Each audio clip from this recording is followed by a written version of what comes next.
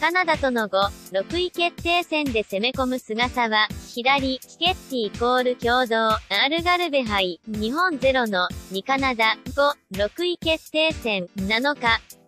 ポルトガルパルシャルなでしこジャパン、FIFA ランキング9位が、カナダ、同5位、2-0の2位で敗れ、6位で終えた。雨の中でキックオフされた前半20分、FW ジャニー・ベッキーにペナル。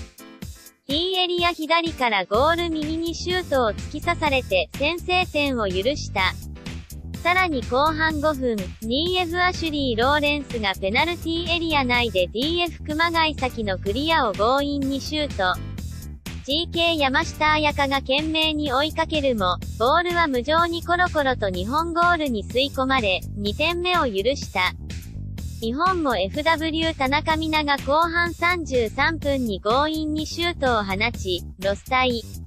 プニ PK の絶好機を得たが、ネットを揺らすことはできなかった。